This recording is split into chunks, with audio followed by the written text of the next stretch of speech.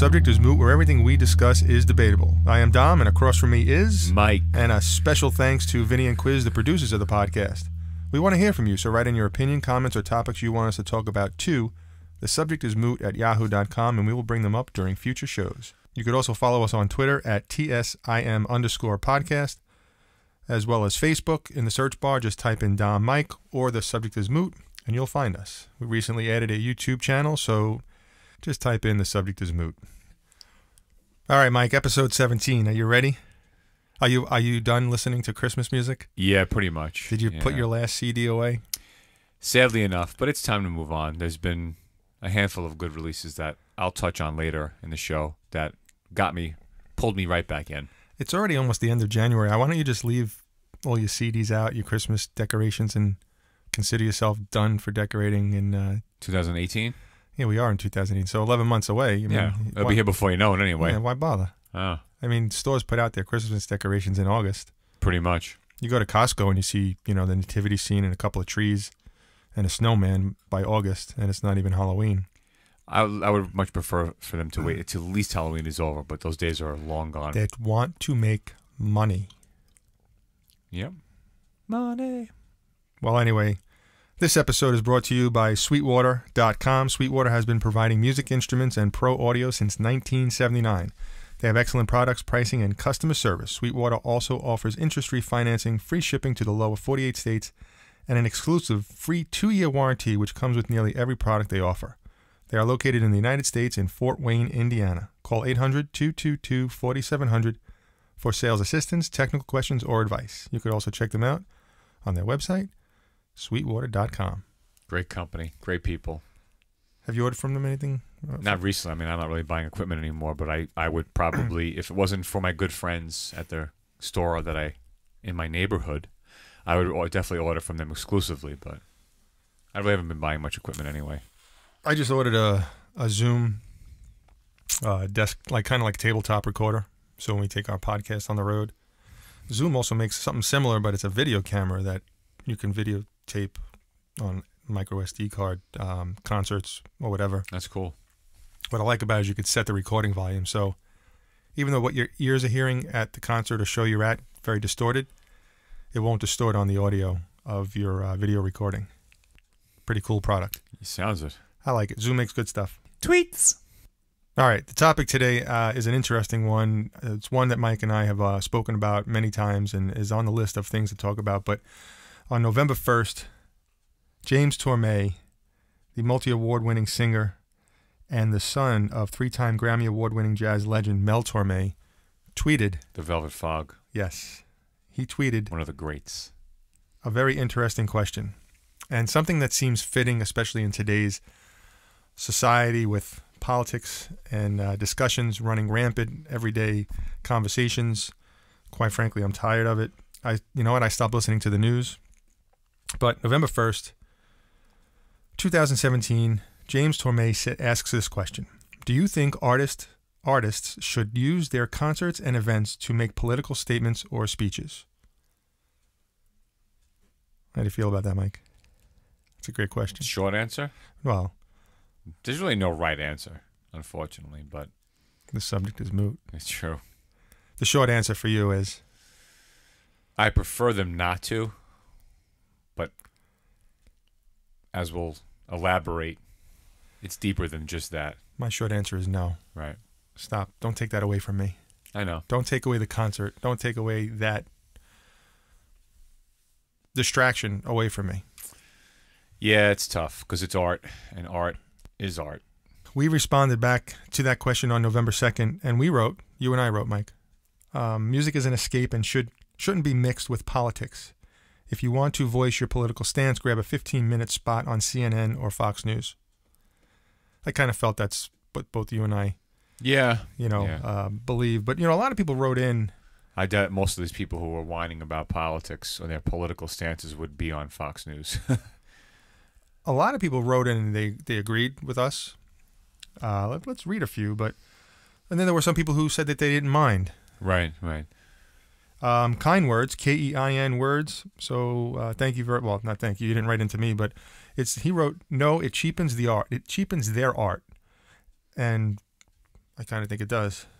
And Virgil on the Verge Sheridan writes back. He writes, uh, "I want to hear your music." Period. Interesting. I mean, that's that's basically what it comes down to. What are you there for? It's concert. Why do you need to hear after an hour and a half of them playing? Uh, you know, vote for Trump, vote for Hillary. Well, they just sneak it in, in the middle. It, it may not even be as blunt as that either. It's usually, you know, some are. Some are like a friend of mine just went to see Roger Waters, and he said Pepper throughout the whole night was anti-Trump stuff. Yeah. And I personally don't really care because I'm not a political person, but it gets to the point where are you trying to brainwash? Are you trying to force force your political beliefs down everyone else's throat? You know, and that's that's when to me it gets overdone. If you continue, if you want to just take, if you write a song about something and it's in your, it's within your art, I don't mind it so much because I, I have the choice to say, I either go to the bathroom at that point if it's at a show or if I'm listening to it on the, on a CD or whatever, I'll just skip over it if it's bothering me that much. But if it, if it's ongoing throughout the whole show, then you're using it as a platform. Then you're using your show and your audience as a platform to push your ideals. I think if you mention it once, you're pushing it. What's the purpose? Uh, well, Well, why are they not talking about anything else? yeah. You know what I'm saying? Why are they? Why don't they talk about charities and donating to this cause or that cause? You and I both know the answer to that Well, because they're they're not getting any money. they're on the payroll. Right. They're on the payroll. Quiet Storm replied back to James Torme's uh, question I'm not in favor unless it's sold as an audience with. We're paying to listen to their art. You don't see politicians start singing. And then Dan Thom writes, Well put, and we don't want them singing. Leave singing to the pros. I mean, these are all responses that are pretty much agreeing with us, but I'm just trying to. Here's another one. Uh, I think it's Lammer Salada uh, wrote, "No, we want to listen to the music. Absolutely, that's what the concert's all about. How many politicians have you ever seen go up on, on a on a platform when they when they do their they do their speeches or whatever with a with a shirt that says "Go out and buy Bruce Springsteen's album," Mm, or they don't. or have a sign that says, "For your information, the new Beyonce record's out." They don't. Do you see that? no, So Brian Sterling pretty much um, wrote exactly the way I feel. Honestly, I don't. Most of the audience just want to be entertained and forget the stresses in the world. It kind of goes back to what you know to what we wrote. It's it's uh, it's an escape. You know, I don't listen. I just went to see Billy Joel right before Christmas. In between each of his songs, he sang Christmas tunes. He played Christmas tunes. Okay, it made it a lot more fun. He didn't grab the mic and start talking about politics and take that away from the crowd. I, you know, and I just, I just can't. I don't agree with it. Even if you're up there talking about the person who I would vote for, I don't want to hear it. oh, I mean, I, I feel the same way. Okay, you don't do that at basketball games. You don't have a politician coming out at halftime. You don't have Michael Jordan saying at halftime, "Vote for this one, vote for that one." It's, it, it's But you take notice, and, and nobody wants to say this. A lot of it's one sided. It's heavily one sided. And again, I'm not for any particular party. I'm not a political person, but it, it's any person with common sense could tell it's it's very one sided. It's all one sided for the most part. Most of the time, it is too. and I know what's funny? How many people made fun of and bashed country for always being patriotic, right? Hmm. Now, for being anti-patriot or just an, anti-establishment for the most part, everyone's kind of sticking up for everyone there. Like where you know, it, it's it's kind of hypocritical in a set in a sense. there was an article in U.S. Magazine where I guess the magazine interviewed Mark Wahlberg. Okay, Marky and, Mark for all you music fans out there. and I'm going to quote. I'm going to read exactly what he said in the quote. A lot of celebrities did do and shouldn't talk politics. He told the magazine, explaining that A-listers aren't on the same playing field as the common voter. They might buy your CD or watch your movie, but you don't put food on their table. You don't pay their bills. A lot of the ho- a lot of Hollywood is living in a bubble. They're pretty much out of touch with the common person, the everyday guy out there providing for their family. End quote. Truer words, were never spoken about. You know, you know, Dom, with with what Marky Mark said there. With this Marky topic, Mark absolutely. Wahlberg. I mean, this topic actually is is this that quote really does feed right into this topic, Right. And the question from James Torme. and it's it, it's it's true common sense. I mean, if we if you sit there and you think like, oh yeah, that's that makes complete sense, and, and it's true. But shame on us as a society, as the public, who allow these people to form our decisions because we're fans of them. I mean, that's ridiculous. And I buy tons of music. I read articles about my favorite musicians or actors or whatever, but it doesn't mean anything to me. Well, when they you're a lot more, but you're more level-headed than the, the other people out there. Now, I don't know what percentage of people are out there, but take Dream Theater, Van Halen. All right, my Joe Satriani, my top artists. If they tell me they're going to vote for this person, that doesn't mean I'm going to vote for that person. exactly. I feel the same But way. the other people are like, oh well, that, yeah, you know what? I'm going to do that. well, if he likes them, maybe I will. Exactly. Oh, she. Well, right. you know what? I grew up as you know what, be a leader, not a follower. Now you have Mark Wahlberg saying this. He's he's a celebrity. Right. He's a much more level-headed. But he's speaking common sense, and he's also he's also really being gutsy because he's saying something that too many people don't want to say because they're afraid they're, they're going to ruin their fandom, right, their fans. right. Well, who was the artist? Plus, there's a bigger agenda behind it all. We're not going to delve into that. no, we don't listen. there's This, a huge, there's a much bigger agenda behind that whole situation, but we won't get into that. no, and listen. You know what? Mike and I don't talk politics, and we're really not talking politics. Okay, this is just a question We're that came up. a, yeah, we're addressing, we're addressing topic. a, a question a, a really good question that James Torme asked, and I can't believe the artists don't get that. I, I really can't believe like. it's beyond it. It's No, beyond that. It's beyond not getting it, Dom. But now, who you. was who was the artist that you had said the other day that any of the Trump voters who are fans of mine don't come to the next show? Todd Rundgren. Apparently, he had. I mean, I didn't read too deep into it, but I, I'm, I'm almost. I mean, obviously, I saw it somewhere in a music site, and he was saying like, you know, if you support Trump, don't come to my shows. That's like as ignorant as ignorant can get as far as statements being made. Now, my next question is, what if all his supporters were Trump supporters? All of them. You know what? He knows they're not. Well, At, le- at least he know. At, I'll put it this way: at least he's pretty sure that at least seventy five percent of them are not. You know how many Trump supporters are out there? And I'm, again, we're not going to get into. I, I'm believe it. Please believe me, I'm not a political guy. But you know how many Trump supporters are out there that won't admit it? admit what? That was a statistic that was done. They won't admit they voted for him. They're afraid. Right. Yeah, exactly. They're afraid to. What kind of country? The same people who want to preach free speech Mm-hmm. are condoning free speech because you are for somebody. Mm-hmm.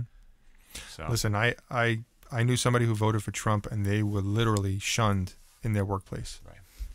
They that that that people would not talk to them because they voted for Trump. right. Look, it's a free country. Mu- music and politics have been married together for years. It, and it's, it, it gets broken down. It gets broken down to different like if if if you take apart the, the political views behind music and lyrics and stuff, it's anti-establishment, it's anti-war. There've been anti-war songs. There've been songs. But I don't mind music. Or I don't mind lyrics and songs that that talk about politics. Whoever it is, whether it's Bono, John Lennon, Right. Ted Nugent. Uh, It's when they use their shows as platforms. that's all. what- That's my. That's the Right. only. That's the question. That's James's question. Right. The question is, should they be using their platform? Uh, um, an actress, an actor wins an award. They go up on the stage instead of thanking the people who got them there, they start talking about politics. Yep. Okay, forget it. It's not that you're taking that away from your fans. They don't care. Is it still? Is it still all about them though? That's what. That's my point. Egos. It is egos Because they feel they have, but they have a right. I'm so and so. Right. Again, and that's the thing. We, we, we've gotten. We, we've we've we've the, the spectrum is too broad because we, we we came 50 years ago. Everybody's feelings and everybody's ideas had to be suppressed. You kept it quiet. You kept it in your house, and that's the way it was.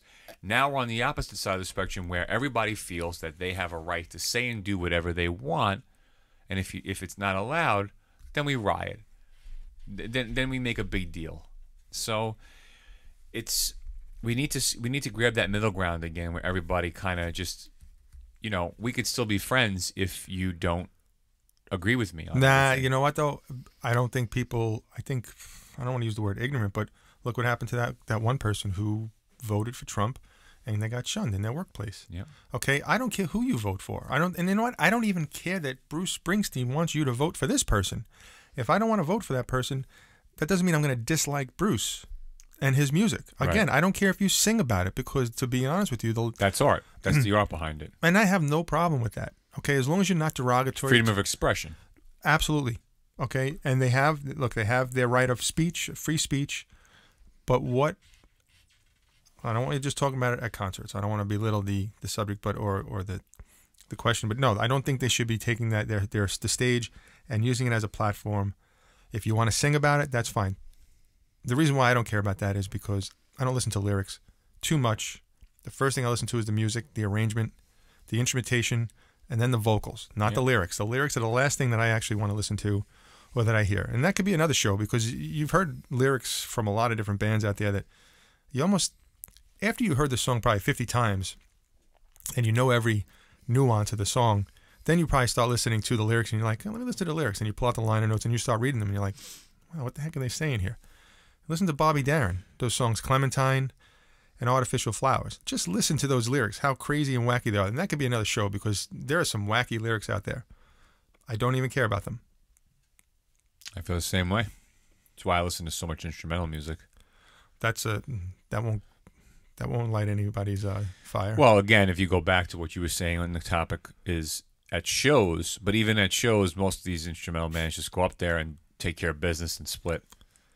So, or artists, but but even then, they you never know. They could still use it as they could still use the stage, the grand stage, as their platform for pushing their political beliefs too. Well, you get those people who listen, we're big fans of our artists. We we support them. Okay, but we're not going to let them tell us what to do. And it's a shame that there are many listeners or, or fans out there who let their artists dictate or brainwash them into voting for. And you know what? You're right. Shame on them. Shame on them, not shame on us. Shame on the people in society who let that happen. It's been going on for years because what, what's his name? Since the beginning of time. what's his uh, Sinatra backed and pushed for Kennedy hard on TV at his shows. He went to Kennedy some of Kennedy's rallies, and you're talking about the biggest star of the time. You talk about you know opportunity knocking. The two of them helped each other out heavy duty, but Sinatra didn't Sinatra really need help. Actually, Sinatra helped Kennedy more than Kennedy could help Sinatra. That's a fact. What's Kennedy going to help Sinatra, Sinatra do? Well, I'm saying, but I'm but at that point, hmm. Sinatra was already gigantic. Yeah, no, it's So it's a one way street there. I mean, you know, Sinatra could that be help. where it's that whole that, that this has all started? Could that have been the start of all of this? no, I don't know. And I don't. I don't. Sinatra wasn't the first singer, and politics didn't really wasn't wasn't a wasn't established when Sinatra was popular. I mean, it's politics have been around since the beginning. Of no, but I'm time, saying and poli- politicians using celebrity that celebrityism. I can't tell you to where it help started. them. No, I can't tell you where it started, but you know, you know what? I, I don't. I think I think it's it's long before then. Kennedy knew in his mind when he brought Sinatra on board the amount of help he, he was going to get from Sinatra and his fans. So that's what I'm saying. Could that have been the catalyst to the way things are today? I don't know. I I, don't know. can't. Answer, I can't answer that. I don't know before that who if if that that whole that theory was used you know by politicians to help to get to seek the help of a celebrity. Yeah, I'm sure it had been. You know, celebrities in in in uh, there were commercials and and um, Listen, I don't. But see now, public service announcements. But that's fine. That's fine. I don't care if Sinatra was on the on on JFK's campaign. I don't. Have, I don't care if he was his campaign manager. I'm not. That's not my point. My point is, don't take that away from the fans who pay good money to see you and support you. And Right. because you know what, where would you be without the fans? yeah. Okay, Sometimes I think their ego gets too big that they forget that. A lot of a lot of artists forget it. they should just at the end of the show say, vote for the, the Democrats. How about just this? Thanks for coming. thanks? Well, Have a great night. thanks for coming. Vote for this one. Good night. I'm out. I don't even need to hear that. No, I'm just saying I that's that's you're on on your way out. Just say that if you feel like okay, that's what I need to say. But they don't get it. They don't get it. And I would say the first, if I've been going to concerts since 1990, was my first show that I ever that I ever attended live show. So I've been going to shows for 27 years. I would say for the first 20, I had never thought to myself for a second going to any of these shows that I would hear anything remotely political. It was really this has really been picked up again in the past 10 years or so. Hmm. Probably since it's all post 9/11. Hmm. I think it's it's all post 9/11, man. I think it's also it's also more now. I mean, everybody is just. I mean, it's on the news every single day, whether it's uh, fake news, whatever news. Yep. I stop listening to the news. I really I get my news from Twitter. I just go into the certain sections and I read what I need to read. I ti- I I put on the radio to listen to the weather and the traffic, and that's pretty much it. I don't want to hear it anymore. It's I'm getting tired. I'm not getting tired. I'm already tired. It's all force fed. Look, Mike, this is a subject that we can go on and on. It's moot. Yes, it is mood. but you know what? It's funny because James posed the question, and I'm kind of curious to know what he thinks. What James Torme thinks. Yeah. Uh, well, hopefully we can get in touch with him and tell him to listen in, But get his feedback. but you know what? It, it can go on and on. We can talk about this this all day long, and that's why we don't talk politics because, like I said, this is really a full circle conversation. Yep. Okay, it really just leading down you know down a path that goes nowhere. But uh, let's uh let's bring up your uh, new release corner here. Mike's new release corner. Yeah, Is it time for that? it's time. Well, it's I'm January. excited. It's January, so you know what? You uh, This has been a few months in the making. This new release corner. I've always wanted to kind of do this. you did it once before. Yeah, I know, but I really wanted it to be like a, a part of the you know the monthly. Well, considering we haven't done a show since July, God, so, so and you- nobody wants to hear me sit here and read off six months of. Uh, Yeah, let's start from January 2018. Yeah, yeah. Well, I'm I'm, I'm not going to go through every new music release. I'm going to hit on some of the, the highlights of, in, in- obviously, in my opinion, or you know, in, in the rock and metal world. Um. So we'll go back to the 12th. We'll start with January 12th because usually right after Christmas and the New Year, music takes a little bit of a break from releasing anything big. You know, they try to get it in before Christmas, and then there's that little few weeks where there's really nothing coming out, and then You're talking about a lull. a bit of a lull. Yeah, Yeah, a a bit lull, of a lull. if you will. Yeah. Uh, January 12th, um, a great band called Audrey Horne released an album called Blackout. Really good rock, throwback, like um, almost like 70s, 80s metal slash rock. Nice twin guitar harmonies. Really good stuff. Corrosion of Conformity released a new record after many years. I'm sure a lot of a lot of their fans are excited about that. Ty Tabor from King's X released a solo album called Alien Beans and a great, great like, throwback '80s like metal type band called White Wizzard released an, their new album, in, Infernal Overdrive, which is excellent. And last but not least, for January 12th, is the one and only Joe Satriani released his new studio album called What Happens Next. And What Happens Next is another quality, fantastic release by Joe Satriani. And I'm partial, obviously, You think? A bit. How is it really? How is it really compared to flying in a blue dream? I know nothing compares to flying in a blue dream. Uh, I, I'm gonna be honest. Everything Satriani puts out is good for me. I Joe love Joe. everything he does, and Joe is Joe, and every note he plays is It's ear like- candy. it's like money in the bank Pretty much. with Joe Satriani. pretty much. So I'm not gonna keep going on about Joe and swooning over Joey Satch. Everybody that you just listed there, I don't know I'll talk about Joe over anybody else you just listed. That's not really my uh, my section here. You know, with all your metal. Well, I- that's why I can't go on. Is there's been obviously there's way more releases. Look into you know if you just Google new metal releases, new rock releases, new music releases, you'll find them. Uh, we'll skip ahead to this past Friday, which was January 19th. Found Zakk Wylde and Black Label Society released Grimmest Hits, and no, it is not a greatest hits. It's a new studio album, which is excellent. Um, my man Al Joseph, great, great guitar player, released uh, more of a band-oriented album. Uh, I'll spell it. It's H Y V M I N E, and the album is called Earthquake. Great stuff. It's uh, a good, solid mix of good rock and great guitar playing. Really good vocals.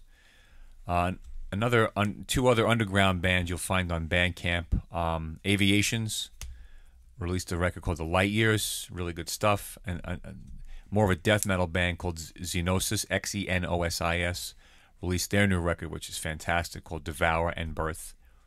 And off of the metal realm, one of my favorite bands, this sister sister group called First Aid Kit, released their new record called Ruins. Really good, like folky singer songwriter stuff. Just great harmonies. Really has a good, a, a, a different sound. They've been out. They've they've had a few records out, but their new one is, is really good too. And looking forward to next week, just some few releases. Uh, John Five and the Creatures That's Alive is coming out. Great guitar player John Five played with White Zombie. The uh, classic metal band from the East, Loudness, releases another. I think it may be like release number somewhere between 25 and 30 in their catalog. Releases their new record, Rise to Glory. Machine Head releases Catharsis. A really, really, really good proggy metal band called Orphan Land releases their new record. And Mike LePond, the bass player from the one and only Symphony X, releases his new record, Mike LePond Silent Assassin. Check these out. And if you're not interested in any of these and you just want to look up new releases, just Google it. There's so much great music out there.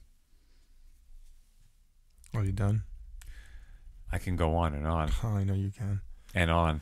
Actually, I'm sorry. On the 16th, which is kind of in between, in the middle there, betwixt and between, was Betwixt? Betwixt, yes, was uh, a release by another really good local uh, Bandcamp band called Dear Apollo, called Volume One. It's an EP, and they're actually going to be my artist of the podcast a little later on. Nice. Well, First Aid Kit, I have to say, is really a really nice, good band. Ni- Those two girls. Sisters, yeah, Sisters. They got it. They really have a connection. We listened to it before, and, and you know what? That was actually a, a very good. Makes me want to go out and buy it. Very, very good.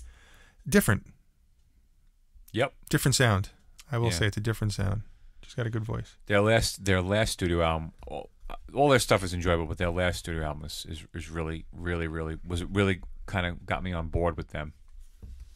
Mike, this episode 17 is, is coming off the heels of some sad news in the music industry. It just seems like we keep losing Never artists. I mean, it just ends. it just seems like last year and it seems like 16, 17, and now, well, 18 is a new year, but it seems like 16 and 17 was just one after the other. But Dolores O'Riordan from the Cranberries, which I absolutely love that band. I love her voice, the sound, everything about it. Uh, and it's funny because it was only about a month ago where you know the Cranberries came on the radio, and I said, you know what, I have to I have to pick up more of their albums. You know, I just just can't get enough of her vocals. I love female vocals in rock. And um, then you hear about the the sad news. It's just a shame, and uh, I just I know we all have to go, but I wish it would just you know slow down. She was so young, Too young, yeah, too young. so uh, you know our hearts go out to her family, friends, and fans, and you know it's a shame. She was uh, she'll be missed. So Mike, really quick, uh, we'll wrap start wrapping this up. But how was your Dream Theater concert? I didn't really get a chance to go to the Images and Words. Twenty five years, man, makes me feel old. Yeah, Twenty five years since it was, it was you know Dream Theater is is come on. I don't expect you to say it was nothing else but perfect. But no, no. Well, I mean, you know, Labrie gave it his best shot. This, you know, he's not a young man anymore. Not that he's old, but those high notes aren't as easy to hit anymore. not at all. No. But he did it. He, he did give it his best, and and you know, then they came out and played Change of Seasons. I mean, come on, that was a it was a bonus treat. yeah. You know, they did all of images and words, and then to to wrap up the night, as if it wasn't enough, they gave the fans Change of Seasons. Mm. I mean, this is why their fans feel the way they do about them. I was really, really, really hoping that Portnoy would have shown showed up. For what? What to be in the front row, No, sitting on the stage? no, to come back. I, I really Mangini's a beast. He's a he's a monster drummer and a, probably a fantastic. Looks like he's a fantastic guy. But they talk, right? I mean, because I saw him and Petrucci on Twitter. there was a recent picture, yeah, that just him and John. surfaced. Yeah, yeah. Maybe listen, if they can't get together in Dream Theater, maybe they can at least re- resurrect Liquid Tension, hopefully, or at least Portnoy, because I know Petrucci's got a whole solo album in the tank, just waiting to be either recorded or, you know, I think he's got a full one written. So maybe Portnoy will play on his uh, solo album, Hmm. at least. It I would a like to see Liquid Tension back, though. it was a show that I wish I, I would have went to, but you know what? It's just it's hard getting to these shows with my schedule and uh, not knowing where I'm going to be. So uh, some sometimes if, if you know it's a last minute thing, I could say, hey, yeah, all right, I'll be there. But um, well, it's, it's I've scaled back my shows too, but Dream Theater 25th anniversary show is something I could not miss. no, I know as a fan too, I should have been there. But you know, I look at Billy Joel, and um, that was the first show I've been to in a while, That's a great one to go to. and that was a treat. Oh, absolute yeah. treat. And I sat to the, let's say if you're sitting, if you're standing in front of the stage, I sat to the right, and his he sits where his piano sits. He spins. So he was facing us at a certain point, then he was facing the front crowd, and then he was facing the left side of the stage. But which what was nice is because I'm getting old, is that I sat behind the speakers Right. and below them, so I didn't walk out of there hearing nothing Still but buzzing? But yeah, hearing ringing in my ears. Yeah, Joe, Billy, Billy Joel is, is still going, and it's amazing. And you know, if, if people, I would love to hear a new studio album from him because he's one of my favorite songwriters of all time. Uh, if not my favorite song songwriter. Um, I always say he was my Beatles growing up, from my era. But I would love to hear something new by him, only because he's such a great songwriter. But I guess if he feels like he doesn't have it in him, then don't do it. And I kind of, I'm okay with that. I think. he uh he the way he approached the show was he comes out he sings a song and then he says I got this album here, and I got this out this other album, and so he tells you this song. All right, I could either play this song or this song. So basically, the crowd picked the song. Right, which is cool. yeah, which that's is a great. There was no set list. It's just like the crowd That's a picked the song. fantastic format. I wish a lot of bands would do that. That'd be great. Yeah, and But maybe maybe not. And maybe you better be careful what we wish for. well, you know what? He made it fun. He made it almost very, very casual. Okay, you know, you kind of would see that atmosphere in a, in a local bar lounge. Well, But it goes ma- back to what you were saying earlier too. It's you want to escape, Yeah. and if you go there and have fun, and the artist gives you their all, Mm. that's that's an escape. It's fun. he made it he made it very relaxing very very casual atmosphere and it was tremendous he did not sing captain jack though i mean he sang pretty much all the ones you want to hear him sing you know he didn't sing captain jack one of my all-time favorite songs by billy joel and i'm by all means not disappointed. Did he sing Down East Alexa? Yes, which is he one of my favorite songs ever written. he just blew he absolutely blew that apart. I love that it was a trim he played that he played a great he played that awesome yes. So yes. Oh, the short Night, answer is Angel. no i I don't think he song, no he didn't sing that. Um Those later my later later favorites in his career. there really was not many songs that I like. You know, I don't like every Billy Joel song. There's a couple songs that I was like, ah, you know, I could take it or leave it. But he pretty much sang every one that I liked. Right, it's good. You know, That's what makes uh, a Billy Joel concert so good. There's very few you may not like, if there's any. Nah, he he really just nailed it. I mean, it was probably one of the, the top three shows I've ever seen. You know, definitely on the list, and I'm glad I got to see it. You know, I saw Frank Sinatra right, you know, pretty much right before he passed, and um, hit one Yeah. of. Well, look, yeah, you know, he forgot the lyrics, but you know, you got to say you saw the, you know, the best of the best. I have I have there. mixed feelings on that whole that whole situation. What do you mean, Frank singing it in the no, 80s? a- seeing any artist, Was he in the 80s? 80s, yeah. any yeah, artist yeah. at the end of their career, just to say you saw them and they were they're just an embarrassment to themselves. Unfortunately, no, he But- wasn't. No, he wasn't. No, no, no. No, no, I know, I know, but still, it, when is when is enough enough? You know, and that's why I won't I won't get deep into it. One of my personal favorites is as disheartening as it is to to think that it is truly the end for Rush. They understand it, and and I think their fans do too because it's not easy stuff to go out there and play every night at sixty and sixty No. years old. If you so. look at Kiss, if you look at Rolling Stones, and you look at the Who and Led Zeppelin, and whenever these you guys can roll to- them out, you can and they could still play those songs. Those look, you know what those guys are? Those guys are the Michael Jordan, Larry Bird, and the, and the Magic Johnsons of of of music. Okay, They- are the best of the best, and they still pretty much sound damn good. Except I know what you you got this face on that because I said Kiss, and now I'm you know they're the best of the best. Is that what you that face is? no comment.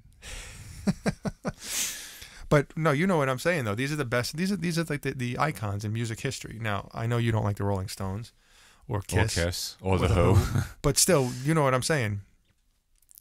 I you, get it. I Can get you it. picture John Petrucci playing when he's 70 years old, 75 the years stuff old? that they play now? exactly, And I'm aware of that already. exactly. They- At some point, they're going to hang it up. But Frank did a did a great job um, singing. He opened up. Actually, no, Shirley MacLaine opened up for him, and you know what? I got to see him play, even though it wasn't at his uh, at his prime. Well, it's that time of the show, Mike. Artist of the podcast, which is brought to you by Vintage Vinyl Records, New Jersey's legendary Double V. New Jersey's legendary independent record store since 1979, located at 51 Lafayette Road in Fords, New Jersey. You could also check out their website at vvinyl.com. When was the last time you were there? Last Friday. Okay. I didn't think it was, you know, much longer than that. Great people in there. Let's do a show there. I'd love to. Do a podcast there? I'm not sure if I would like that. I don't, yeah, I guess I don't, I don't know. If, I don't know how they'd feel. They the, got the you know, backstage, the owner. the stage in the back. We could just Yep. sit there and set up shop. All right, Mike. My artist of the podcast is a band called The Omnific. I recently uh, stumbled across this band. You're welcome. They are a three-piece band, but the reason why I like them so much is that there's not just one bass player. There's two. It's bass-tastic. It is bass. Uh, let's see. You have Matthew Fackrell on bass. You have Toby Peterson Stewart on bass, and then you have on drums Jerome Lemetua.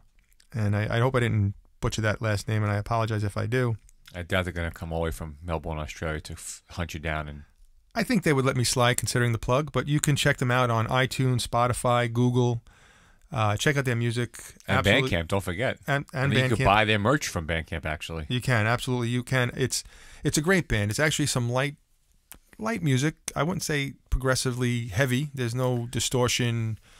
Um, how would you describe it, Mike? But It's it's proggy. It's got nice progressive concepts in the writing. Very It does. melodic. Very melodic. Nice It's- keys, you know, to fill in the the, the, the, the missing instruments. Would you, if you, if you, you know, just to, to add some nice atmosphere within the song itself that they're trying to accomplish. It's it's really good stuff. it is it is good stuff, and I like putting it on in the background. It's uh, it's an in between of what I listen to, to be honest with you. And uh, check it out. Absolutely check this out. You won't be you won't be disappointed if you like instrumental music. And you know what? Having two bass players, they both know where they stand. Yeah. I don't think they're you know one is trying to outdo the other. I mean, it's just a perfect match, and they they're fairly young too. And what they do is it it's not just two guys playing bass just for playing bass. Exactly. It's Mm-hmm. Actually they make it interesting. Yes, they, they- they, they fill they fill the space. Their their melodies are, are, are excellent, and they're not trying. Some people may think that they're trying to play guitar on the bass, but Yeah. it's it's it doesn't. It, I don't think it, it, feels that way only occasionally, but overall, it's it's they really it really comes off. That's improvisation. Excellent. I, I think it's it's very well. What's the word? Arranged. I think it's very it well arranged. It is. Surprising. You know, Yep. really surprising. You would think you know two bass players, but no, it's it's great. Usually don't even need one. Hmm? Usually don't even need one. Well, you need you need somebody to help carry the equipment in, right? If listen, if I just mention Rush, you know I like bass players. Yeah. Well, The greatest of all time. arguably. I mean, he's he's definitely top. I won't argue. Yeah, he's definitely top three. No doubt, Geddy Lee, absolutely. All right, Mike, who's your artist of the podcast? My artist of Make the this pod- short, will you? I'll try. My artist of the podcast is Dear Apollo. That's it. Good night. My artist of the podcast is a band called Dear Apollo. Um, and their their new record is called Volume One. I mentioned in the new releases. It came out on the 16th of January.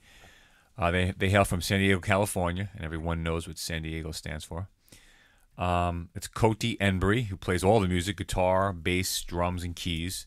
And Marielle Diaz Carrion is the vocalist and lyric lyricist of the band. It's a two-person band. Um, Marielle's vocals are fantastic. She has a great voice. Um, the music has a bit of djent in it. It's, it's proggy. It's, it's it's guitar heavy. It's- about the songs though. Really nice stuff. Um, just stumbled upon them in the past month. New fan. Their CD came in the mail today, so it was a perfect time for me to mention them and make them my artist of the podcast. Check them out. Bandcamp, Facebook. Hopefully they're on iTunes, but I'm a Bandcamp guy, so because you could buy their CD from Bandcamp as well, and I'm I'm all about the merch and supporting music. So check them out. All right, well, it's time to wrap this show up. We want to hear from you, so write in your opinion, comments, or topics you want us to talk about too. The subject is moot at yahoo.com, and we will bring them up during future shows.